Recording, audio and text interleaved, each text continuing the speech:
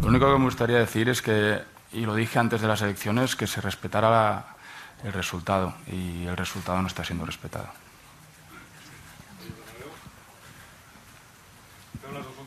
Sí. Què tal, Gerard? Aquí.